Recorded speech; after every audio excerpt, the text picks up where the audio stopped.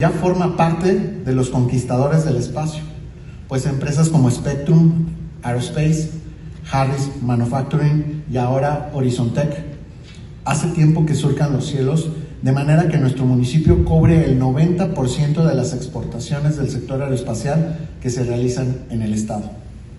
Hace unas semanas, a invitación del Clúster Aeroespacial del Bajío AC, participamos en la principal feria del sector en Dallas, Texas, y ese fue el principio.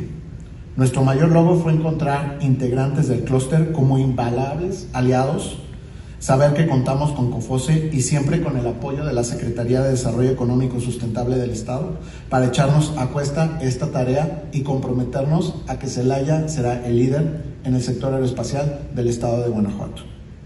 La visión de nuestro presidente municipal, Javier Mendoza Márquez, es ir por más oportunidades de desarrollo, empleo, proveeduría, calidad de vida para y los celayenses y paralelamente tengan un impacto en toda la región.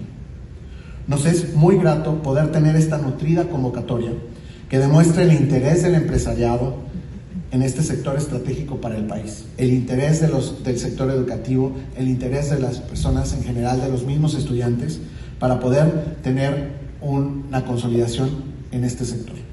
Tenemos un plan de vuelo para lograr la consolidación de esta área, fortalecer la cadena de suministro, promover la migración de líneas de producción para este sector, promover la alineación de la oferta educativa con la oportunidad actual y futura que ofrece esta industria.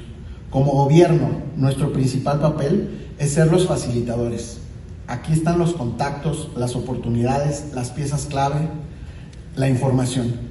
Y sé que se quedan en buenas manos porque las y los celayenses, las y los guanajuatenses sabemos hacer negocios y ver siempre por el bien de nuestras familias. Bienvenidos todos.